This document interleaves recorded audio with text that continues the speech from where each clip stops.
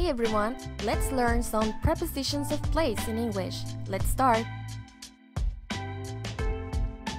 Next to significa al lado de. Next to. In front of. Significa enfrente de. In front of. Behind. Significa detrás. Behind. Under. Significa debajo. Under. On. Significa sobre. On. Between.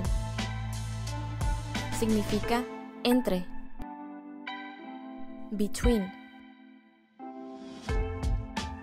Against. Significa contra. Against. Next to.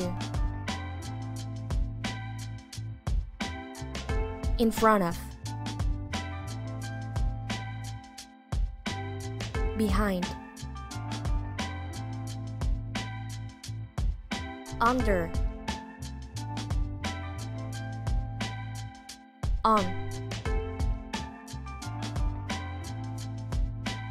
Between. Against. Esas son algunas de las preposiciones de lugar en inglés. No olvides suscribirte, darle like y seguirnos en redes sociales. See you next time.